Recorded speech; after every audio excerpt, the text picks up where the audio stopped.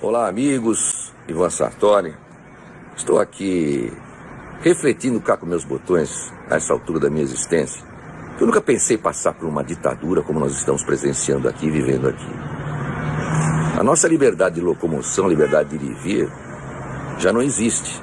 Manifestação de pensamento já vem logo um jornaleco aí, é, é, a serviço do prefeito, desqualificar as pessoas que se põem contra o entendimento dele, como já aconteceu aqui em Santos.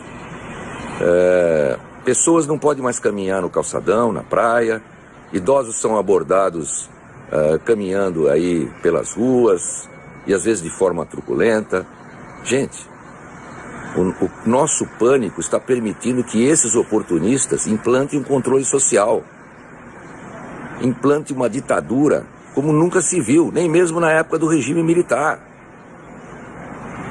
Surfistas agora foram retirados da praia, do mar, do mar.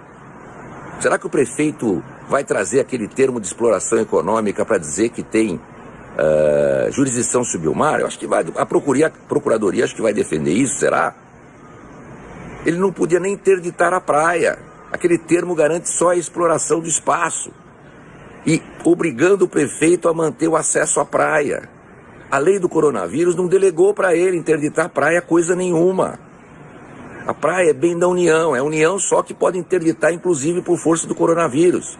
Os nossos direitos fundamentais não podem ser afastados agora nesse estado de calamidade. O estado de calamidade não está nem previsto na Constituição. Constituição é estado de defesa e estado de sítio. No estado de sítio, sim, há a possibilidade da suspensão de algumas das garantias individuais. E nós não estamos nessa situação. E não é ele que vai suspender, é a União, é o governo central.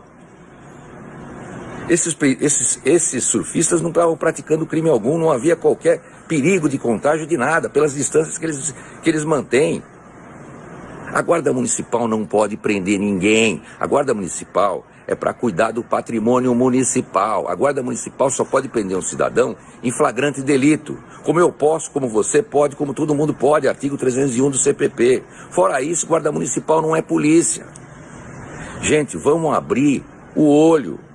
O país está indo para o caos, graças a esses ditadores, esses ditadorzinhos aí de plantão, como esse Paulo Barbosa, como esse Dória. Nós temos que mudar isso. Nós não podemos mais aceitar quando a gente vê a legalidade, a inconstitucionalidade à frente da gente, nós temos que nos, que nos posicionar mesmo, ativamente.